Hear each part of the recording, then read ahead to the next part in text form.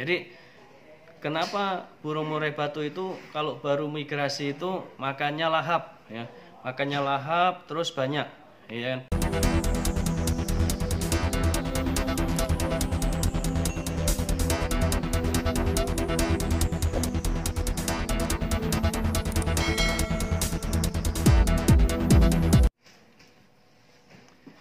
Assalamualaikum warahmatullahi wabarakatuh. Semangat pagi. Ketemu lagi dengan channel GPS Coy.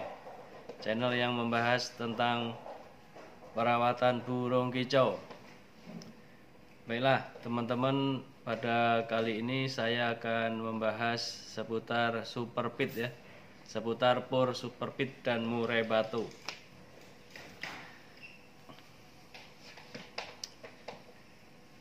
Oke, teman-teman, ini vlog saya ini saya tujukan terutama kepada pemula. Kenapa pemula? Karena pemula itu perlu banyak tahu, perlu banyak ilmu, dan perlu banyak pengalaman. Oke, kita mari langsung aja ke pembahasan ya e, tentang superpit. E, jadi teman-teman itu di vlog saya ada yang komentar, ada yang tanya. Jadi e, apakah aman uh, for super pit itu kalau EF-nya cuman dua, ya kan? EF jangkriknya hanya dua, hanya makan super pit dan jangkrik dua, ya kan? Uh, saya bilang begini, uh, insya Allah aman, ya kan?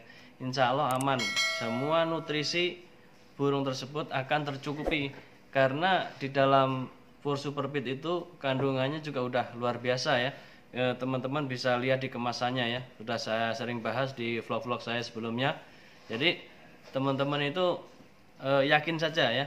Eh, seperti satu hal yang sering saya katakan ya kalau berani jangan takut-takut. Kalau takut jangan berani-berani. Nah, gitu. Jadi biar nggak takut bagaimana caranya? Nah, ikutin vlog saya ya. Ikutin vlog saya insya Allah aman ya.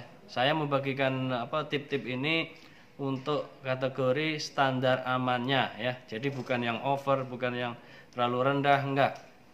Jadi kenapa burung murai batu itu kalau baru migrasi itu makannya lahap ya.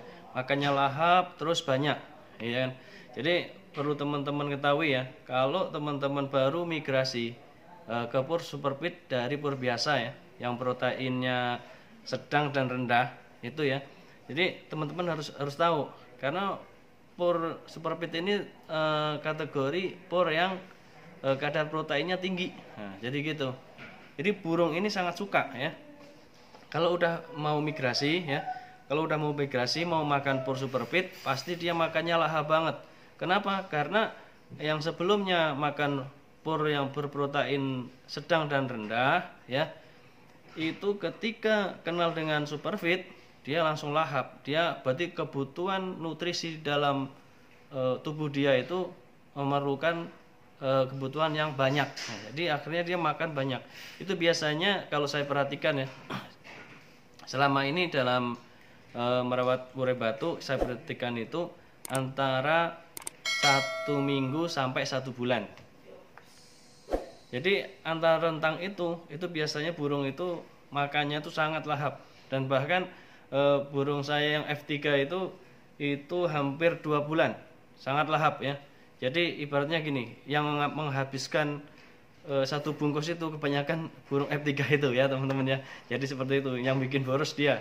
Karena sekarang udah nggak ada jadi irit banget ya. Jadi satu bungkus itu e, bisa satu bulan lebih buat burung murai batu tiga ya. Jadi begitu teman-teman ya. Jadi ketika awal migrasi ini dipastikan burung tersebut akan makan fur super pit sangat lahap dan banyak. Biasanya kalau satu sendok itu kalau baru baru migrasi itu biasanya dua hari habis ya. Dua hari habis maksimal itu tiga hari. Itu udah habis banget tinggal remahan-remahan gitu ya. Kalau udah tinggal remahan-remahan baiknya apa? Dibuang. Dibuang dikasih ke jangkrik. Nah, jadi nggak dibuang basir tapi dibuangnya ke jangkrik. Jadi jangkriknya pun makan pur superfit bekas daripada remahan e, murai batu tersebut nah gitu teman-teman ya.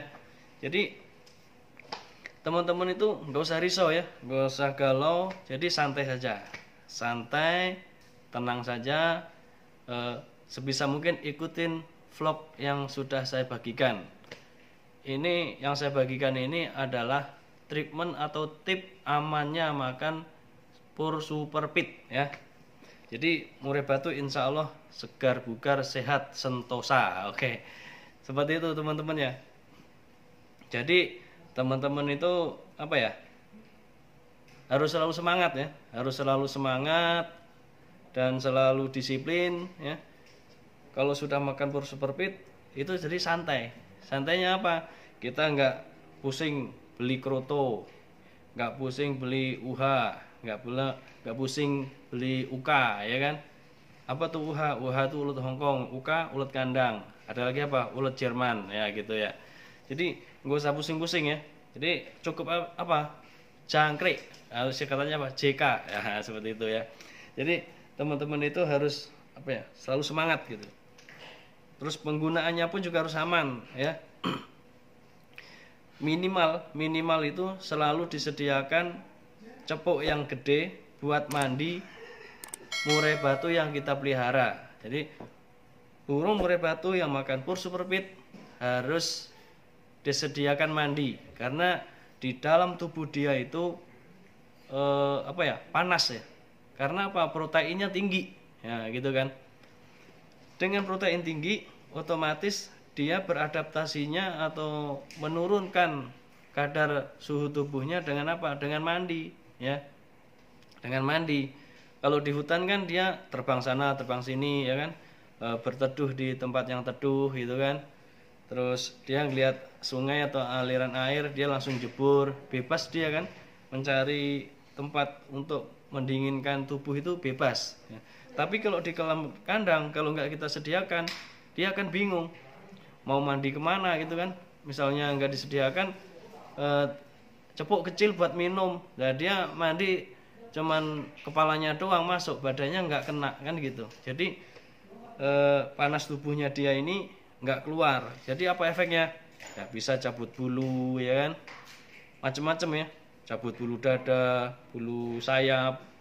Yang parah itu cabut bulu ekor. Nah ini teman-teman harus apa ya harus hati-hati harus paham harus tahu gimana cara biar tahu. Ya harus sering-sering cari informasi salah satunya melalui channel saya. Channel apa? GPS coy. Oke? Semoga ini bisa membantu teman-teman ya. Jadi teman-teman itu nggak usah galau nggak usah risau. Pokoknya santai aja duduk manis dilehatin disimak pelan-pelan saja. Kalau kurang paham silahkan e, komentar di kolom komentar. Oke? Insya Allah langsung saya jawab. E, selama saya nggak sibuk. Weh sok sibuk ya jadi seperti itu teman-teman ya Oke, terima kasih teman-teman. Akhirnya, wassalamualaikum warahmatullahi wabarakatuh. Semangat pagi.